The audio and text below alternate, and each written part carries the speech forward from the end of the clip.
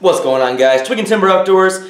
You all know that I'm a avid fly angler, but today I'm going to talk about some trout and steelhead bait or lure, if you will, that is not fly based, but allows me to still do my thing on the water.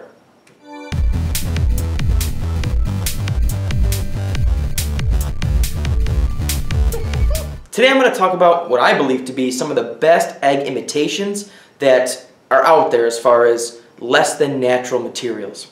Today I'm talking about otters milking eggs. These are some of the most fantastic egg-based imitations that I've ever come across.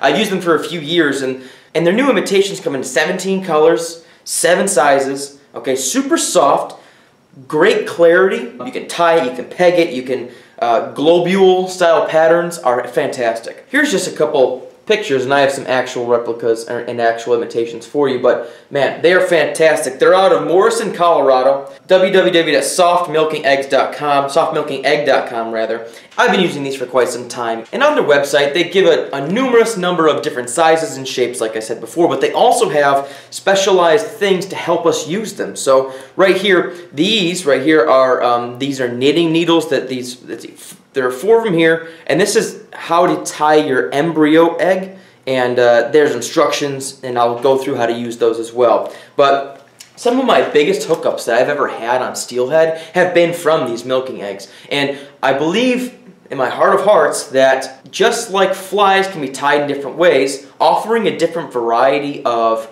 tying patterns or uh, pegging patterns or you know designs from these eggs allows me to vary my presentation just like I would with a fly. As you can see here, these are just a variation of different colors they offer. They have them in 17 colors, like I said, and, and 7 different sizes. Different sizes vary from 2 mil all the way up to 10 millimeter. My favorite thing about these eggs is the actual veil material.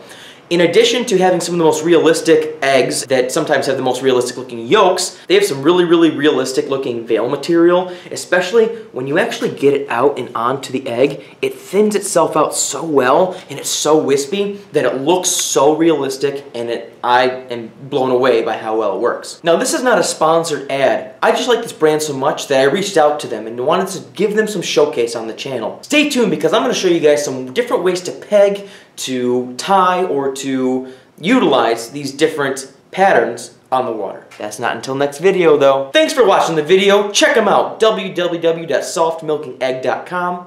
Until next time guys, catch you guys on the flip side. Tight lines, we out.